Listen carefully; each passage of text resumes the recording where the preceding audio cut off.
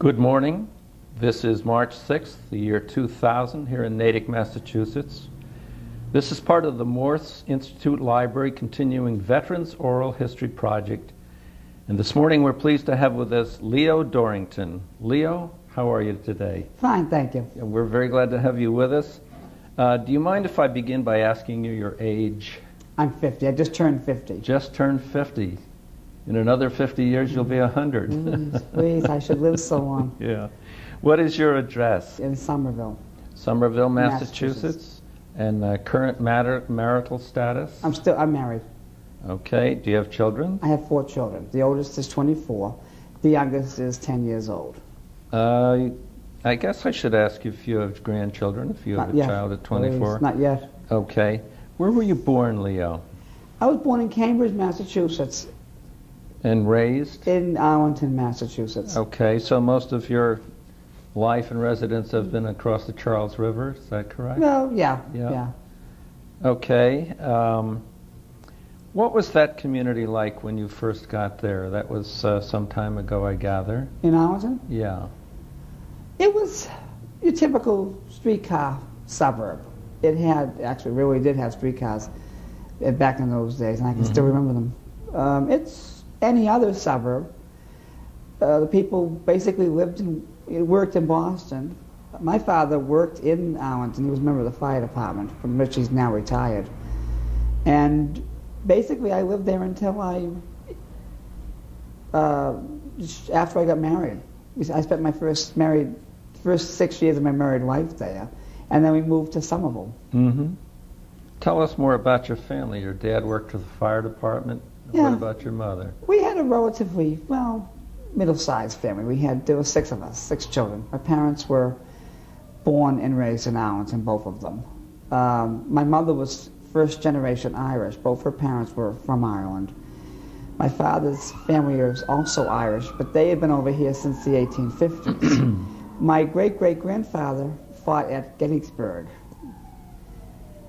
And his son became a tanner and founded a leather company in Woburn, which no longer exists. It was a Dorrington Leather Company.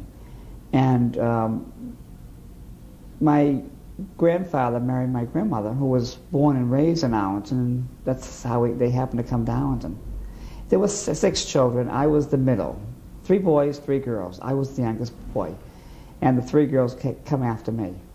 So at least uh, on your father's side, you've got some pretty deep Yankee roots. Oh, yeah, yeah. Anybody who had served at Gettysburg goes back a long Yeah, way. yeah. He was in the um, Company E 9th Massachusetts Regiment, which was an all-volunteer Irish regiment. Of course, I don't know how. A lot of them, basically, for them, it was volunteering just to get the money. You know, I don't think very many of them had. You know, a few of them probably did, but most of them probably weren't that much in this country that they had such patriotic roots that they would, you know, be so totally committed to the cause. Well, those were the days when Right. they paid bounties and Right. uh, it was most acceptable. When and where did uh, you enter the military? I joined in October of 1969. Um, it was, I was right out of high school. Um, what I did was, my two brothers had gone in the military. One had gone in the Marines, and one had gone in the Army. And I figured, well, it was my turn to go. So I chose the Army because I figured, well, I didn't want to join the Marines. So I went away in October of 1969. It took me six months to get out of basic. I had gotten sick a number of times. But I finally graduated from basic in April of 70. And I ended up serving two years at Fort Knox, Kentucky. I served there until April of 72 when I got a uh, early release. They were doing the, at that time they were trying to do away with the, um, they were trying to go on the all-volunteer army. So they were offering six-month early releases. You said a moment ago that it was uh, you felt it was your turn. Why in your family did people take a turn to join the military? Well, at that time, the it, it, it seemed that normal for the sons to go in the military. My father and all his brothers had been in the military during World War II and Korea, and we felt it was our patriotic duty to do that. You know, it was the right thing to do. For historical purposes, What was going on in the United States of America in 1969? Uh, that was during the Vietnam War. Mm-hmm. During rather the crazy, hectic days when the the anti-war demonstrations, the hippies, the um, college uh, you know, the riots and things. Yeah. Did you join up specifically to go to Vietnam? Well, I figured if I had been sent to Vietnam, I wouldn't not go. I just figured uh, if I went, I'd go. If not, well, that was that was, that was the you know, if it was meant to be, it was. If it wasn't, it wasn't. Okay. For um, no particular reason, why didn't you want to go into the Marine Corps? Well, it's funny. A year before I joined, my brother had gone through Marine Marine Basic, and my mother and I flew down to attend his graduation. And I, I got to spend three days on the base, and I discovered that it was a rather hectic and rigorous training that they go through. At Parris Island? Yeah. And I figured, well, it would probably be, I really didn't want to go through that. You know, I, I sort of got an insight into the differences between the Army and the Marine uh, basic. Essentially, the Marines try to make you all automatons, all the same. In the Army, they taught you how to think through a military problem. You know, it's, it's funny, the, the Army was sort, sort of teaches you to take a hill through logic and through um, a good marshaling of your resources. With the Marines, you're taught to take the hill, even if it, you know, just charge right up there, even if, even if it means losing your life and 50 million others. Mm-hmm. Okay, so that explains why you were in the army. Right. Uh, you talked. You said you were. You got us up to the year 1972, and you were at Fort Knox. Right. I did two years at Fort Knox. I and was, they uh, offered you early uh, release from the military. Right. Did you take that? Yes, I did. So you were out in 72, but I know you went back in. Oh, yeah. Uh, basically, Okay. at that time, when you joined up, you did a six-year stint. If you did a three-year active duty, you also had to do a three-year inactive duty. And that was if you did it in a reserve unit or just, you know, on, on a situation where you would be called up for two weeks active duty Mhm. during the summer. Um, at that time, I figured, well, I wanted to stay in somewhat. So a month later, um, I joined a reserve unit, the 803rd. Uh, Um, I That's did a, a medical group. right. Yeah. I did that because I figured, well, if I had to do two weeks in the summertime, it would probably be better for me to do it with people I knew. Plus, also, the the money benefits would have been fine. You know, I figured I, I liked the military enough that I didn't want it to be my life, but I didn't want to lose it totally. Okay, let's go back a minute. When you went into the service, uh, did friends or family join when you did, or did you go in by yourself? I went by myself. Yeah, and where, and where were you sent for basic training? Fort Dix. Fort Dix. Right. Can you tell us a little bit about that? Well, let's see. I went away in um, October of '69, and well, the first three months, basically, I was in and out of the hospital. It wasn't until February or March of '70 that I actually finished the train, got through the training. It was the basic. It, it, basic at that time was an eight-week thing, where the first two weeks was primarily uh, drill and ceremonies. You learned the history, um, the reasons, the, the psychological reasons why you do things. The third and fourth week was tr- primarily rifle training and grenade training. The fifth, sixth at weeks were a lot more in-depth hands-on training, um, charging up hills, doing the confidence course, uh, learning assaulting hills and stuff like that. The seventh week was primarily the uh, testing to make sure you knew all that. The eighth week was more of the same, and then came graduation. You have pretty good memory of what happened to you uh, some 25 years ago. Did you write all this down, or have you written a memoir? Um, no, but it's, I probably should. I've, I've got a lot of letters that I've written home that, you know, at that time, the, the girl who became my wife, um, I was seeing her at that time, and I still have all the letters. She kept them all. She kept them all. Well, that's that's very And I. I, in the 70s and 80s, I went back over and reread some of them.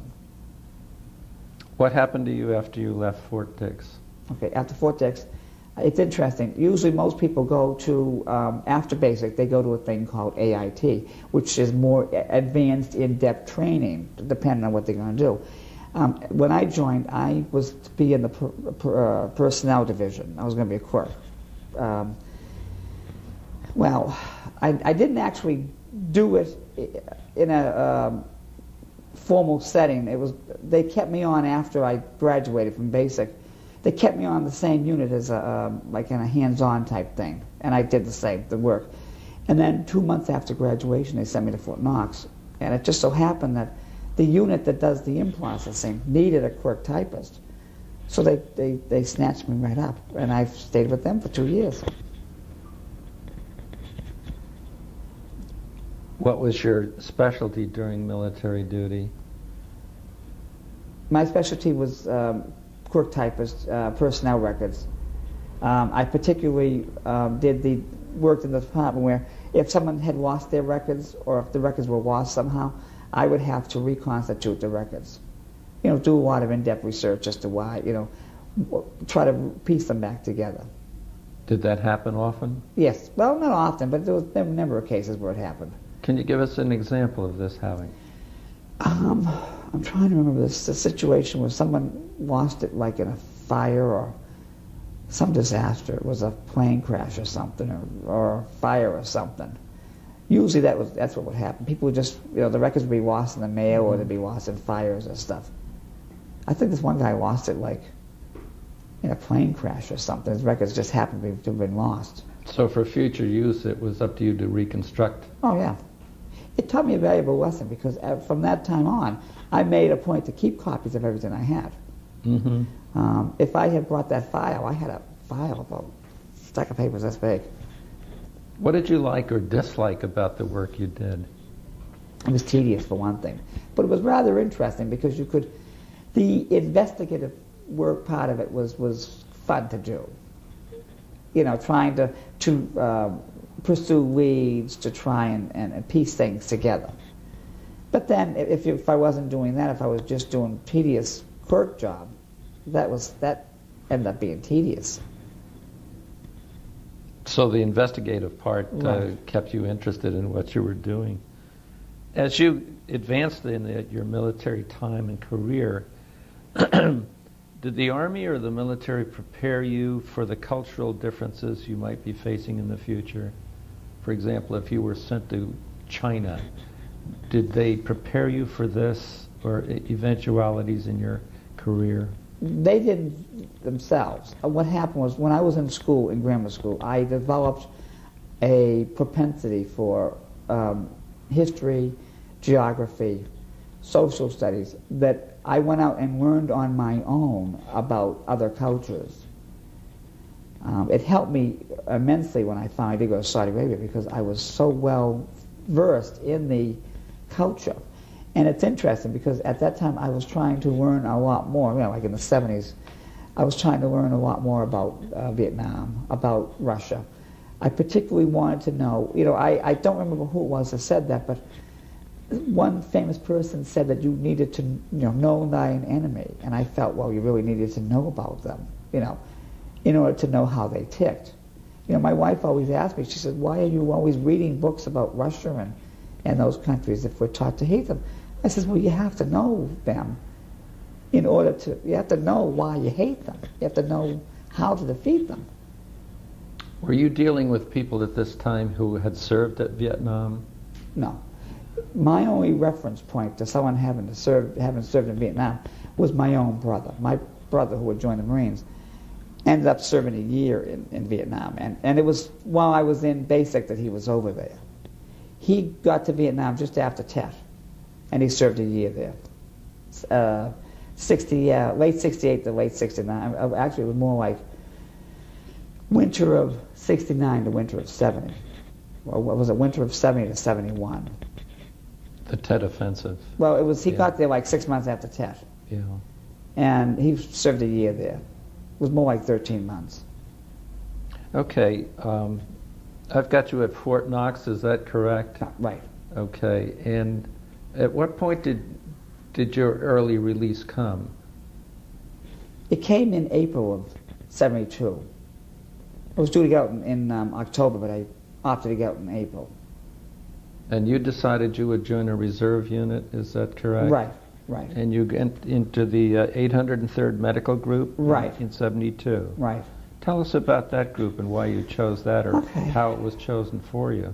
Well, they were located in Boston at the time, at the old Army base, which is now the, the garment building, the one white building there in, on the waterfront.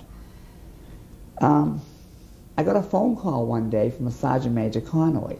He, I guess they, the units got list of people who had come out, and he know, knew that I was a, um, had been a personnel specialist by the time I got out of Fort Knox, and they had a slot for someone like that.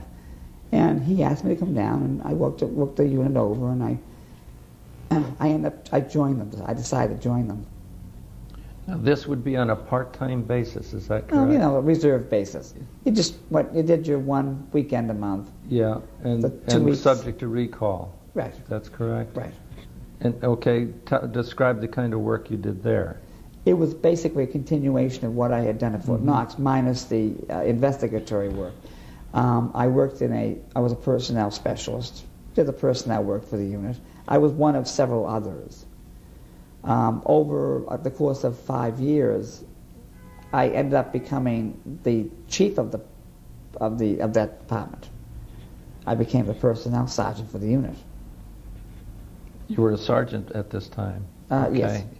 This is a, a characterized as a medical group.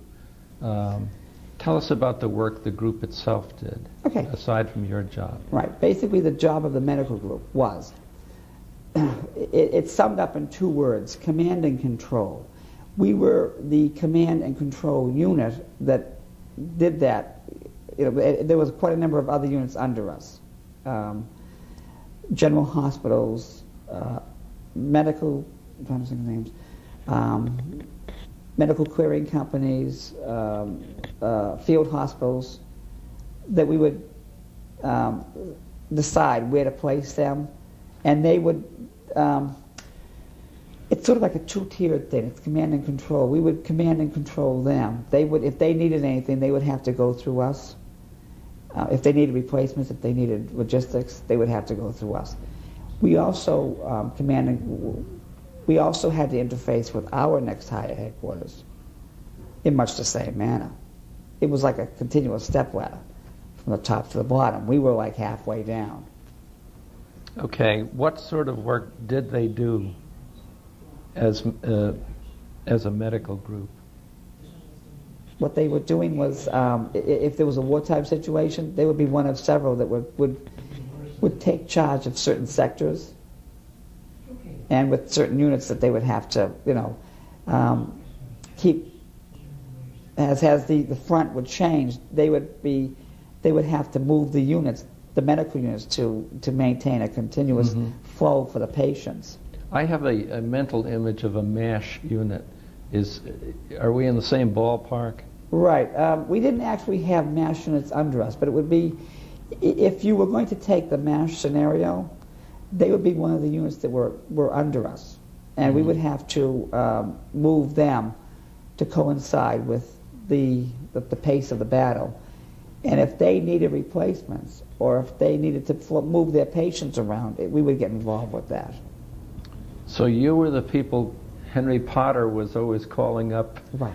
in the, asking where the stuff is. Is right. that right? Right. We would have been that group. I got it. I got it. Okay. Were you sent? Uh, were you an individual uh, when you joined this unit, or were other people that you knew from previous experiences uh, sent to this unit with you? And it was just an individual basis. Okay. And let's see. You're you're serving at Fort Knox. No, you're in Boston now. Right. Okay. Back home and Did your duties change at any time throughout your military career? Do you mean the duties like with the the, the 803rd? Yeah. Well, yeah, about maybe six, seven years after I joined the unit, um, I left the um, personnel department. I basically had an argument with, with, with my top boss over um, rules and procedures how to do things. I still to this day maintain that I was right. Um, they wanted to kick me out, but I figured no, I want to stay in. So they offered me a position doing preventive medicine work, which was another department in that uh, unit. So I, I opted for that. I took a, a, a step down in rank, and I went into the preventive medicine department, which was part of the operations section. You were now a corporal, is that correct? Well, um, at the time I took this, it was it was an E seven. I, I, I, was an E seven sergeant first class, dropped down to staff sergeant, which was E six. Um, in 1980-81, I got into the um, preventive medicine field. My notes show that uh, you were an NCO dealing with safe water and mm. environment, mm. things like that. Right, that's what the preventive tell us, medicine. Tell us about that. Well, actually, it turned out, you know, this this little argument turned out to be a a big milestone in my career. Um, as I said, working in personnel can get awfully tedious, and I look back on those days now and and I, I feel, gee, you know, it was like, it was almost like a dead end type job. You know, you can only go so far. But once I moved to the preventive medicine department, um, it took me a couple years. I went to school, I did OJT, I got the. Explain that, please. I'm sorry. Um, I performed the job for a number of years. In the meantime, I took correspondence courses. I went to the medical um, Academy at Fort Sam, the Army uh, Academy of Health Sciences, formally got the designation, you know, formally became accredited as a preventive medicine NCO, um, got my E7 back, and became the 803rd of um, formal preventive medicine NCO. You know, at that time it was like an acting type job. Um, OJT means on the job training. I was learning that while I was doing the correspondence courses. Uh, by the mid 80s, I was, you know, the official, you know, uh, uh, preventive medicine NCO with the with the title with the title and with the rank. What sort of work specifically? Give us a good example, if you would, uh, uh, of dealing with safe water or making sure the troops had safe water and, and your interface with the environment. Okay, basically what it was is, once we set up a, our camp, or if, if they set up their camp, my job was to go out there, inspect, um, you know, do testing of the water, maintain, make sure it was safe, and if it wasn't, to um, offer them advice and guidance on how to, to do that. Plus, I had to do that in my own unit.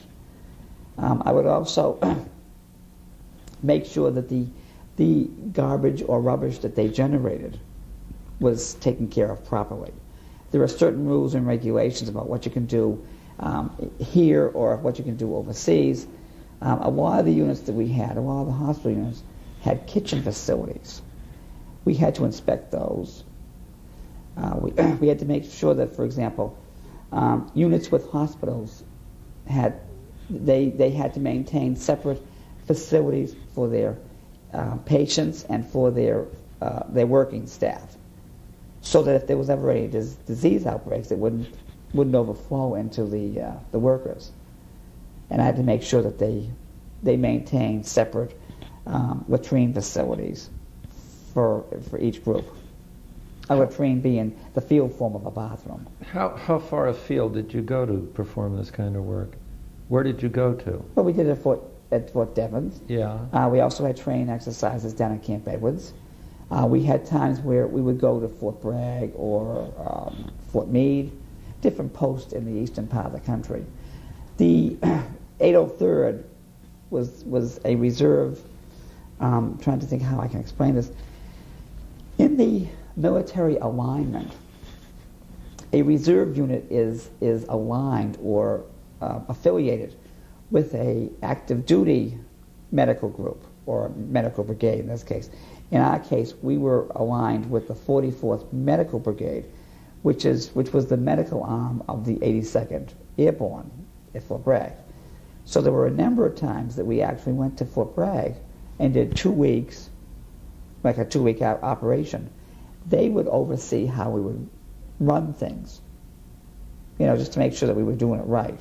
There were also a number of years that we did the same thing at, um, well, then Camp Drum, now it's Fort Drum in upstate New York. it got to the point where we knew a lot of people from the 44th. And by the late 80s, they were inviting a number of us in my unit to participate in, in a number of their operations. In 1986, I got to go to um, the, the desert in California to help them on a um, on their Gallant Eagle, which is a joint operation that they do with the 102nd, with the 101st. Airborne? Airborne, yeah. Yeah. They, they do war games. It's, it's the, basically the 82nd versus the, one, the 101st. And they do this like every two or three years. And um, the 44th needed people to, to, to fill in some of the slots. So they invited myself and four others to come along. So essentially, I worked as the um, assistant preventive medicine NCO for the uh, 44th. I get the impression you did quite a bit of traveling. Uh, yes, I did. I did a lot more traveling in the reserves than I did in the active duty. Yes, I can see that you did. Um, what did you think of working with the 82nd and the 101st? Those are tough units. Yes, um, I thought it was rather interesting, and and it gave me a good feel for you know like um, trying to see the bigger picture. You know the the um, what what the 82nd does, and you know I was basically involved with the medical aspect of it. You were with the uh, 80, 803rd Medical Group until 1993. Right. Uh, Vietnam was over. Um, what was going on in the United States of America at that time? What were uh, what was the military doing? Okay, at that time, during the um, Carter years, the um, military started downsizing um, to the point where it was felt that it wasn't going to be able to do its job. So once President Reagan came in in the early 80s, the money started coming in. the operations started to get. There were more. There was more money for, for things for um, uh, training, for um, operations. You know, there was more opportunities to do things. How much time had you had in the military about now? By that, by that time, I had almost 15 years. 15 years? Oh, well, I'm, I'm trying. It was just over 10 years. And what was your rank? Um, at that time was, um, well, the, it, it, was for a while it was E7, then it was E6 again. Then I dropped, then I went back up to E7 mm-hmm. in the mid. Let me let me ask 80s. you a kind of an umbrella question here. Uh, you had a good career. You learned interesting things because of your own interest in it. Um, you feel your officers gave you good leadership and incentive to uh, do all the studying you did and get pr- the promotions you did? Did you have good leadership? Um, yes, we there were there were good leaders, but there were also people who were not good leaders. I was fortunate in having having some leaders, some uh, higher NCOs and some officers who helped me along, who who gave me the incentive. Plus, I also had my own self incentive to um, to prove that I could do it. There was always, you know, through my career, there was always this feeling that I needed to prove myself. To yourself, or, well, or to your family, or to well, your to brothers? myself, basically. And do you feel you did that? You I think so. Yeah. Yourself I, I, well? I believe I did. Yes. Okay. Did you network through the army? Uh, you met guys and they came and went in your life. Right, right. Did you stay in touch with them? Yes. And were they at any time useful to you, oh, yeah. or vice versa? It became it, it, it, came to the point where there was there was a, a little core nucleus of people in the 803rd that um, we, um, we we're still together. We we see each other socially. You know, we always have a Christmas Do party. you really? Yeah. Um, there was about a group of about ten of us that that stayed together um, and and, be, and formed a good group. Uh, and a lot of us were still there in the, you know, went to Saudi together in, in uh, 1990. You know, people would come and go, and, and, you know, they would always, there'd always be a few that would assimilate into this little group. You know, we, we formed a good working relationship. Am I correct? Is the word Honduras on your um, resume? Right. Um, in 1988, um, I got a chance to go to Honduras for three weeks there was a road building operation that um, I had heard about, and they needed preventive medicine personnel. So um, I got put on the list, and I went for a, uh, a two-week training course in the summer of '87. What they did was they, they took us down to um, Fort Hill in Virginia, out in the boonies, because they, they wanted to see how people would operate in a um, remote situation, because that's how, how it would be in Honduras. they wanted to see if people could, could relate to that and if there was going to be any problems. And, you know, most of us made out all right. And then six months later, we were in Honduras for three weeks, helping to run the hospital. I was doing the preventive medicine work. Were you were at Tegucigalpa, or where were you? Um, it was uh, just outside the village of uh, Grande, which is in the north central part of the country, in the mountains. Now, here's a local boy down in uh, Honduras. Tell us about your feelings about going down there and what you did specifically. Okay, just want to take some water first. Have a drink of water. Okay, yeah, that's my throat.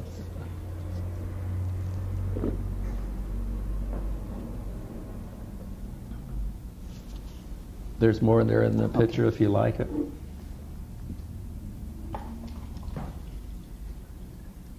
This is this sounds like a, an assignment, um, much like you've had before, but in a totally different locale. Oh yeah, it was much better. I uh, it, it, was rather interesting. Again, um, I had read a lot uh, about Central America, the politics, the the, the cultural, the um, the social, economic type things. The interesting thing about about Honduras was it's the the second poorest country in the in this hemisphere. Only Haiti was was poorer. And it was interesting because we were in the in the rural mountains. There was a village outside. It was Puente Grande. We had set set up our base camp there, including the hospital that we used to treat the um, engineers that were doing the road. we also set up a a situation where we would treat the locals. You know, the local villagers could come to us for medical aid. And then twice a week we would go into a distant region and set up a, a one-day medical aid station, you know, to treat people, you know, give them just basic uh, one-time only treatment. Um, we would, would also help them with their dental problems, which for them was mostly just pulling their aching teeth. Mm-hmm um, it was it was rather it was very interesting because you know I got to see you know part of the world I probably would never have been going down to. What what year was this? This was 1988. 88. Right. Uh, were were there any American operations going on in Nicaragua at that time? There was. Um, well, I, I, knew about the Contras and stuff. Specifically yeah. of Ollie North and the Contras. Right. We had been told that we couldn't go anywhere. Um, we couldn't go anywhere uh, 25 within 25 miles of any of the other borders, Nicaragua, El Salvador, mm-hmm. Guatemala, which was uh, which I didn't particularly care for because I had wanted to visit Copan, which is just across the border in Guatemala. Um, so I didn't get a chance to see the Mayan ruins that I would have liked to. But it was it was interesting just being down there and seeing how the local people lived. And, it was interesting because they, there was a sugar cane fields, and I got to eat raw sugar. And um, you know, every morning you could hear like the cocks crowing over in the village, you know, and and essentially those people they kept their animals right there with them.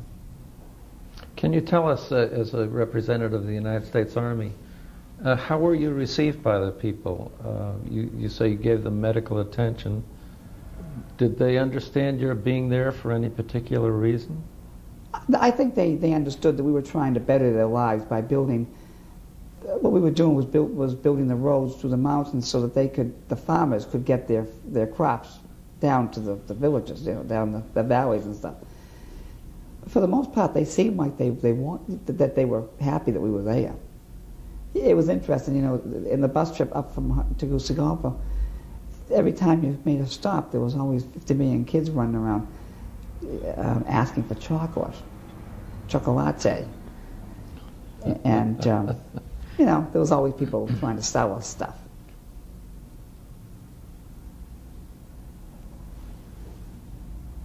I have here in my notes that uh, you acquired a detailed knowledge of the area of your assignment, uh, the life and customs.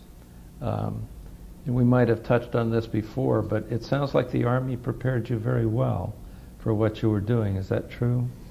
I, I think what it was is it, it, it was a, a takeoff from my earlier interest in social studies. I've always had an inquisitive, um, I've always been inquisitive about what life is like in other countries and for other people. And the Army, especially once I started traveling, made me want to learn more because I felt it was best to know so we could deal with this, with, with mm-hmm. any, any situation, especially with the preventive medicine. You know, I wanted to know particularly what, what, what the situation was in, in, in any given country so we could deal with it. Had your books prepared you? Was it what as you expected? Pretty much, yeah. Was yeah. it? Yeah. Um, I would try to get my knowledge from, from other sources too. Um, like for example, the for example, the Lonely Planet series of books always had a very good section on uh, local health hazards and, and you know things like that. Would you bring us up to date on uh, this is 1988, if I got it correctly, in Honduras, um, and I know we're working towards Saudi Arabia. Right. Uh, you came home from Honduras and went back into your line of work here in the Right, the right. local area. Um, did you see any war clouds gathering to suggest to you that you were going to send to the Middle East?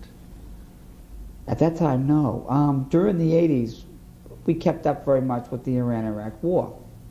Um, essentially, most of us felt that we we seemed to side with, with Iraq more because of what had happened with the hostages and, and the way the government Mhm. was in Iran. It seemed like our natural tendency would be to support the Iraqi side because we really didn't want the Ayatollah and the, the present regime in Iran to to gain the upper hand. And um, in the late 80s, it's- it, I began to study more about the situation in the Middle East, and I learned a lot about the um, the historical uh, antipathy between the uh, Arabs and the Persians, and the the the unending conquest back and forth. You know, the Persians overrunning the territory, and then the the Arab, uh, the Islamic uh, takeover of the whole area. It was, it was it's like a, it's been a back and forth thing. You know, the um, I also learned a lot about how the people over there felt. The um, the local Arabs always felt that to them Iraq was a um, a natural barrier between the the Persians, you know, to, to keep the Persians from conquering and overrunning the, the rest of the Middle East. And that remains today. I feel that's one of the reasons why we, we haven't been able to, to finish him off or contain him even after the war, much to the way we, I think we, wish we should have done. You've mentioned uh, Presidents Carter and Reagan. and We're working our way up to Bush. Um, shall we get to Bush and talk about your going to Saudi Arabia? Okay. um, ironically, it always seemed that each military operation I did seemed to build towards Saudi Arabia. Um, going to Gallant Eagle in the, in the desert, and then going to two years later to Honduras. It was it was almost like a natural stepping stone to the ultimate experience in Saudi Arabia. Some of the members of my unit who who were in the know um, had an idea that we would be going over there in early August when uh, uh, Iraq first invaded Kuwait.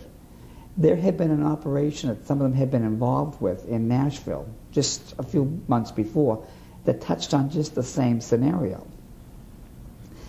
And Predicated on the invasion of Kuwait. Right, right. It was a, it was a war scenario uh, based on some, somewhat like the same situation, and how the U.S. would react to it. And ironically, it, Schwarzkopf was part of that train that that phase. Was he really? I think he was. I'm not very Yes. sure if he wasn't, but that was that was part of it.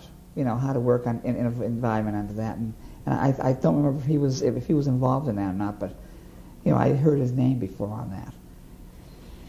Um, and then a lot of them, some of them weren't surprised when we got the call up in early December. uh, it came on December the 3rd that we got the alert that we were going to be going. What did your wife say about that? Well, it's, it's interesting because the psychological unit that was located right next door to us, um, they had gotten much the same alert in September. And they just stayed there for months. You know, they, they didn't go anywhere. So on Monday, the 3rd of December, we got the call late in the evening that we were you know, that, that we were on the alert status. So I told my wife, I said, well, we don't worry about it because, you know, the unit next door had had the same prop situation and they're still here. Well, two days later, we got the call that we were going. And How much time did you get between hearing you were going to go and you found yourself on an airplane?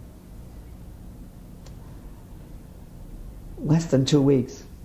Hmm. And it was ironic because um, we just were, before Christmas. Right. It, it, it, happened on a Wednesday that we were told that we were going to go, and then we had to report two days later. So I only had two days to get my personal affairs in order. And the day after I had to report, we were already on our way to Fort Devens. Fort Devens had us processed and out in 10 days.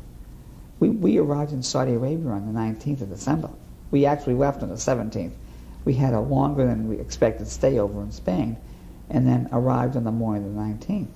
Tell us specifically, where did you take off from? Okay, we, left, we took off from um, Westover Air Force Base. And flew to Spain? Right. We were supposed to, to fly to Torrejon Air Force Base, which is just outside of Madrid. Um, we were only supposed to stay over like about five hours, but there was a, a, problem with the plane. They had to switch us to another plane, so it ended up turning into more like a 12-hour delay. And then the, the, the flight time from Spain to Saudi Arabia, being what it, what it was, we didn't arrive until just after dawn on the uh, 19th. It was Tell a Friday us, morning. Okay, they open the door of the plane. What's your first impression? Sand. Sand and, and uh, Quonset hut type, type buildings everywhere. How about heat, humidity, whatever? What, what's it like there? Well, there was, there was heat, not so much humidity. I mean, to me, it was more like, to me, the whole experience was like being back in the California desert. Um, Saudi Arabia in their spring and their fall is a lot like um, being out in Arizona or the California desert. There's humidity on the coast, and I've heard it's unbearable, but I never experienced it. We were located at King Khalid Military City. Would you spell that for us, please? Um, K- King Khalid, K-H-A-L-I-D, Military City. That's King Khalid? Right. Military City. Right. Okay. Um, it was named after the monarch who, who was the predecessor to King Fahd, his, essentially his brother. Um, it was built in the mid to late 80s. The Saudis had started building uh, military cities around the periphery of their borders to guard against uh, military incursion. The, the purpose of, of King Khalid Military City, or KKMC as we started calling it, was to be one of those, but it was also um, well, they had the, a, a, medic, a, a, military academy there also. To to be actually uh, as correct as I can, you are now with the 804th. No, at this point we're still I'm still with still the 803rd. It was the 803rd. Okay. Um, I didn't go to the 804th until two years after I'd come home. Okay. The um, when we first arrived in, in, in Saudi Arabia, we were at the coast in Dammam at the military airfield there. And what was your specific assignment? Well, I'm still at this point. It was it was also preventive medicine. At, at uh, our assignment at that point was to uh, we were going to be there for a, a, couple of days until we found out we were going to go, and um, you know we pretty much knew what we were going to do. We were going to be doing the, the work of a medical group. You know, we, we had an understanding of what we were going to do. We just didn't know where or under what conditions. Um, one thing that really, it, it, was funny that the things that really worked out was um, I, am also a uh, an avid map collector. I love love maps. You know, that grew out of my fascination with social studies. And it's interesting because just before I went to Saudi Arabia, I had read Sandra Mackey's book called The Kingdom. And she was the only female um, journalist that had been allowed to go to King Khalid Military City. So she spoke of that in the book. And I, just out of curiosity, I had done some research, and I, I, I putted around the maps and stuff, and I had located the the probable area. And about two days after we arrived in country, um, my uh, the operations officer, who was my boss, came back and said, "Well, yeah, we're supposed to go to some place called King Khalid Military City. You don't happen to know where this is, do you?" I mean, they knew how I. How Your I was CO maps. asking you? Yeah, you know why? Because they knew that that I was was very good at maps, and, and I had already. Um, I was the one that, that that basically was they relied on to do the map exercises to put the maps together to do to do to do the map training, and they asked me, says, "Really, do you know where this place is?" I says, "Yeah." I says, "Pulled a map out and I showed them precisely where it was," and um, they they were able to, to, to figure out how we were going to get up there and you know work out the details, and it was quite interesting um, that you know, we. Uh, a couple of days later, we, we did an all-day convoy up there, and we arrived there late at night, and with the set set by tents and everything. And it was quite interesting because the first morning, when we opened the tent up and looked out, it was almost like like something from the Arabian Nights, because at, at that time, King Khalid Military City was the central core of it was the um, the academy, but the rest of it was there was no there was no permanent buildings you know, for quite a stretch. Um, they had a few buildings here. They had an engineering college here. They had a, they had the um, military hospital and its adjoining buildings. But there was like large stretches of where there was no buildings, but there were rows. And you know, we opened the flap of the tent, and there's this huge group of buildings that looked like the, the architecture was something out of like the the uh, Arabian Nights. And um, at the heart of it was the, the huge mosque that they had built you know, at the very heart of King Khalid Military City. It had a, uh, had a very high, had uh, a very high um, tower to it. And the call to worship at dawn, did you hear? Right, right. Yeah. That was what woke us up. The the, the Muslims, uh, what the, the Muslim call, Mhm. going through the area, and we heard that every morning we were there.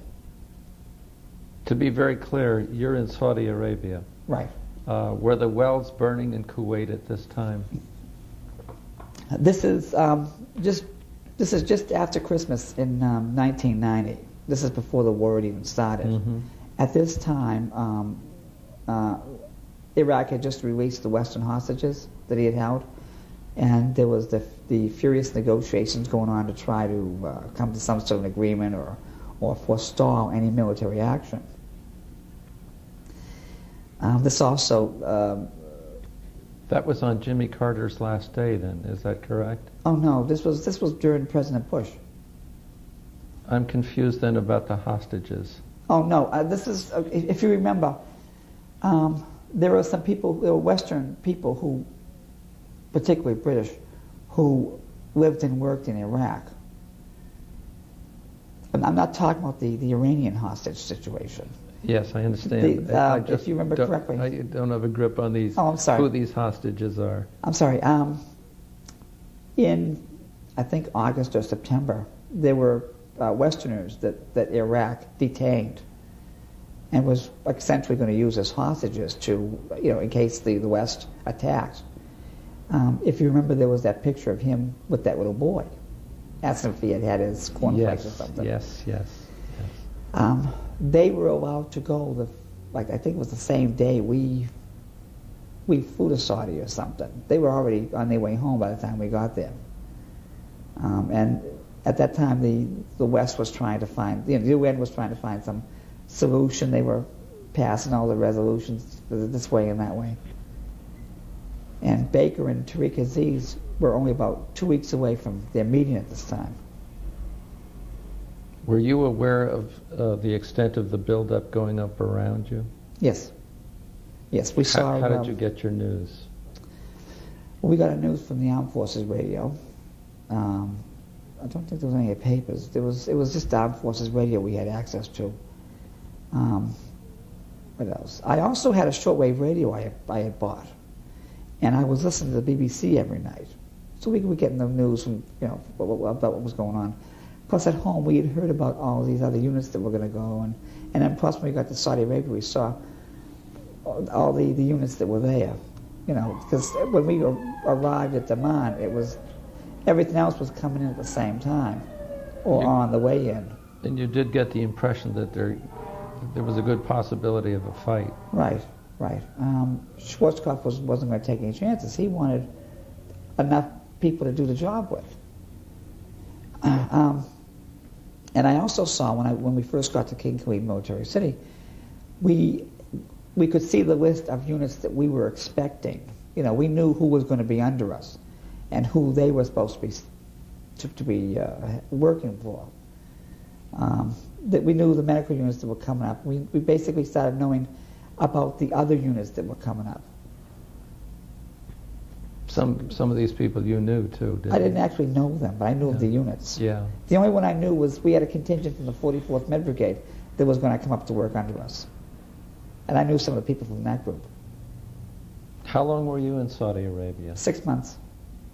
From December of 1990 to mid, the mid-May of 1991. And what did you see? Okay, well, let's see. Um, as far as the war was concerned, Yes. well, the only thing about the war was, the one thing that was most impressionable about the war was the Scud attacks.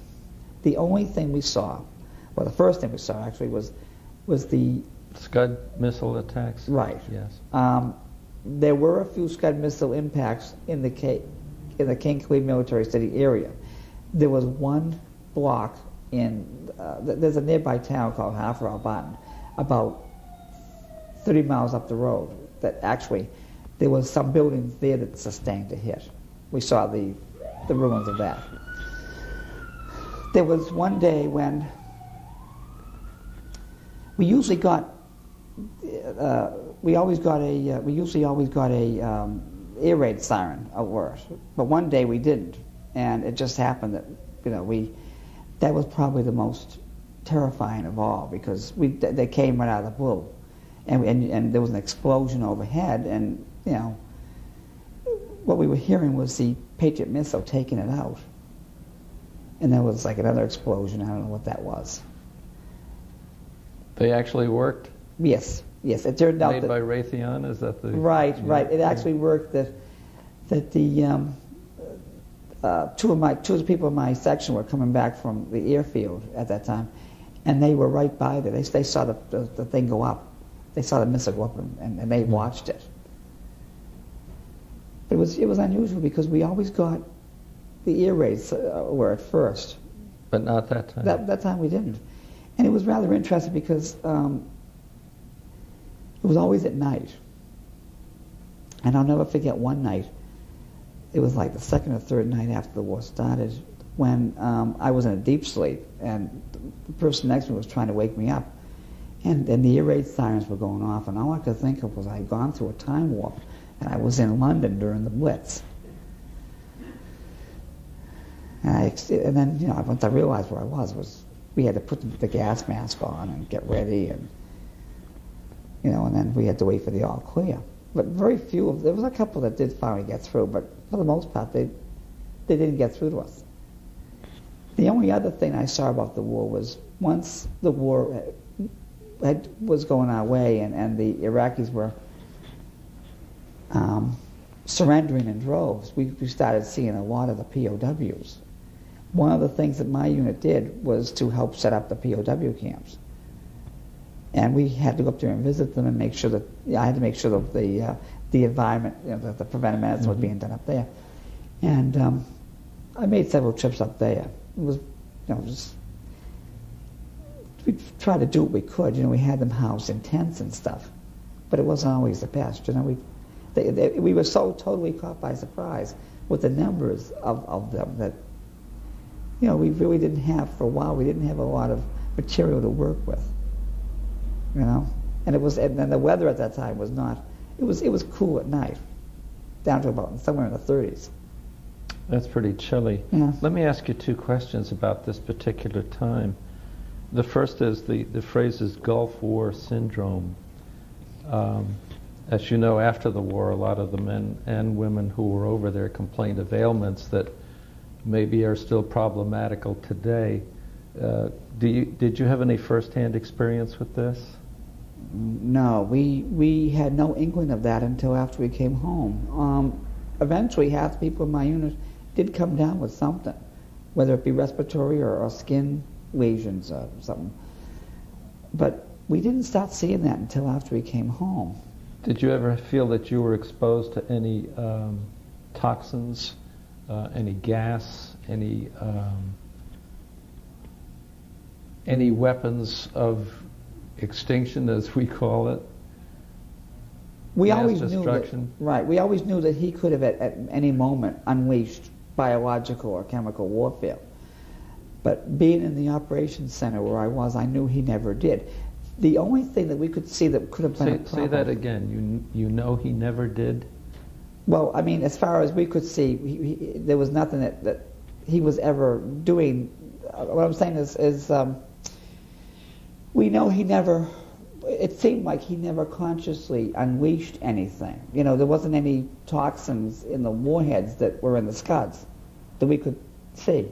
Although there were some cases of the there was a Czech unit in the area that supposedly picked up some form of their instruments got a biological or a chemical reading one day, but it really didn't seem like it was, and it, like it was too much, and there didn't seem to be a, much of a cause for concern. We never received any official word about any of these things. A lot of this stuff I didn't learn until after I came home, and there was no. I mean, there did, did, did nothing seemed out of the ordinary. You know, we didn't see any animals dying, or we didn't No, see any. that's, that's interesting. Let me ask you the reaction of yourself and the men around you um, as to the war ended. All these POWs, you packed up and went home eventually, but Saddam Hussein was still in power. What what was your feeling about that? Well, we always felt that we, unlike Vietnam, we knew that we were over there for a good cause, and we just wanted to get the job done and get home. And when they made the decision to keep him in power and, and just have the, you know, try, try to, to keep him contained, a lot of us kind of felt at that time, well, the alternative was for us to, you know, we would probably have, would have had to occupy Iraq for quite a long time. And a lot of us were, at that time, we wanted to get home, you know. Mhm. We really didn't think about that until years later, you know, after it was too late. Um, once the war, you know, once we pretty much had him on the ropes, we figured, well, you know, that's President Bush's decision, you know, and, and you know, we figured there must have been a reason why he did that. And I also feel that behind that, they felt that, I really personally feel that behind that, there was um, a reluctance on the part of the Arab uh, components of the Allies, that they didn't really want Saddam so totally destroyed that there would be this power vacuum. There's always been this fear of Iran over there, and I really felt that they they they were afraid that if we to- totally defeated Saddam and and just you know pushed him aside, that there would be this power vacuum that the Iranians would try to fill. There's always been this been this fear that Iran will will try to overrun the Emirates and, and Saudi Arabia and, and take over the Middle East. You know, in a new form of um, jihad, you know, to to further the uh, their secular. You'd, Hey. you'd get an Ayatollah where, where where you didn't want one. I'm sorry. You would get a, another leader in there uh, that you yes. didn't want. Well, yeah, we would we would have um, a much stronger, um, more powerful Iran than we really wanted. Yeah. Okay. Tell us about packing up and coming home. Oh, um, well, we were quite happy to be doing that because we knew we were going to go home. Um, packing up was a lot easier than getting ready to go over. All we had to do was just put put everything into a MILVAN and and get the MILVAN back down to the coast because I was going to go home by ship, and the rest of us were going to be uh, going back to Dammam and and be sh- shipped out by plane. We ended up flying home on a commercial airliner and made several stops. We stopped in Sicily on the way home. We also stopped in Ireland, which was a, a rather in, big treat to me. really? Yeah. Yeah. coming home. Yeah. I have in my notes here, I think, that you have, um, is that correct, 12 medals?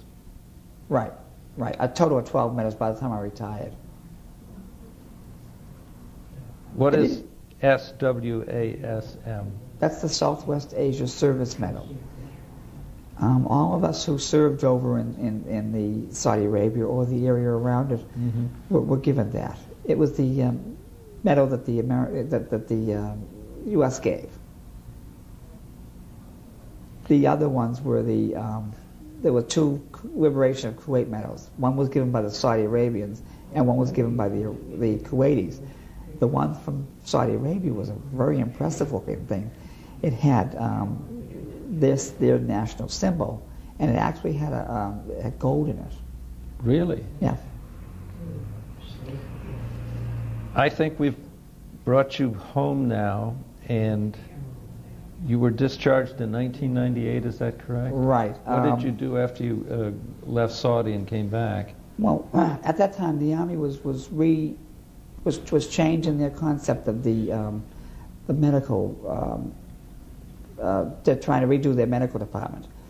The medical groups were going to be eventually replaced by medical brigades, and the um, 803rd knew that it was going to be going away in a few years. So what they did was, the last from like 92 to 94, 95, the 803rd's primary responsibility was to be a, a training group that would, would take the me- um, other medical units and, based on our experiences in Saudi Arabia, we would teach them um, elements of command and control that we knew worked from our wartime experience. Um, it, it, in two years, two years after I came home, the 804th became a medical brigade, and um, I went up when they were reconstituted as a medical brigade. I joined them as their preventive medicine NCO, and was at that time I got my promotion to master sergeant E8. So that's you. You're in the 804th now brigade, Right. and you served with them till '98. Yeah, I did five years with them until I Yeah. got until I um, my 20, I, I had reached my 29 years, which which is uh, at, when you're a, a master sergeant, if you serve 29 years, it's it's usually expected that you get out to make room for the next person down the line. So you went all the way from recruit to master sergeant, and you served 29 years for the United States of America. Right. Um, I'm going to ask you a couple of questions that I think, if I haven't asked you, you you tell me something that we haven't asked. But was the military experience good for you, and was it uh, what did it mean for the rest of your life? Yes, it was. It, it was. It was well worth it. I, I, I never look back with regret on it, and I am proud to have served. And for the rest of my life, I think it taught me elements of good, um, how to be a better citizen, how to be a, a, a better, um, like in my work environment, how to better deal with, with, with stress, with with um, with problems at work, and how to better my, my life, essentially.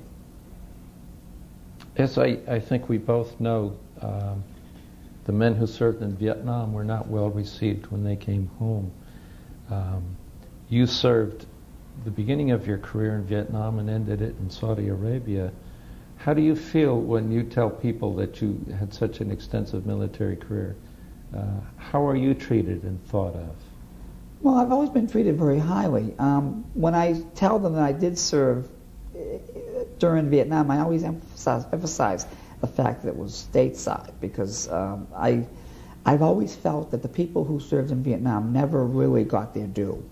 Um, and I can't be considered his, you know, when people hear Vietnam, they say, oh, you served over there.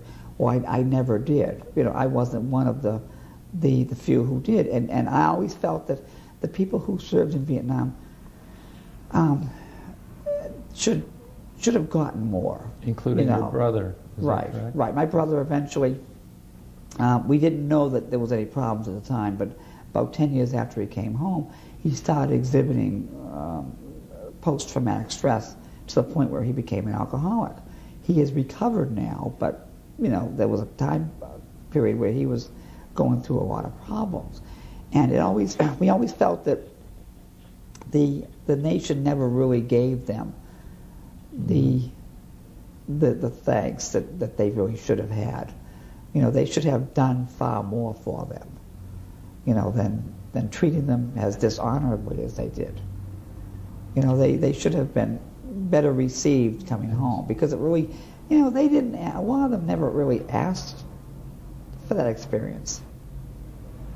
Leo, is there any one thought or memory or high point in your career that you would like to share with us that I haven't asked you? Well, I'm trying to think. I think it would have to be the day I came home from Saudi. We arrived at Westover Air Force Base. We were one of three units that, that arrived, and the other two units just couldn't wait to get off the plane. We were the last ones off the plane. But we decided to do something different. We, they came off the plane, they just went and joined their families. But we decided to do something. Uh, we got to, off the plane, we got together, and we, we, we marched in, in, a, in a small formation, you know, to where the families were and then disbanded. And I'll never forget, because one of the songs that the Army Band was playing was um, um, the, so, the Bette Midler song from, from um, Beaches, Wings, uh, uh, what's the name of it? Um, uh, wind beneath my wind beneath my wings or something. And that's always for, for me and my little group. That's always been like our song since then. Whenever we've gotten together, uh, we've always sort of like had it played for us to remember.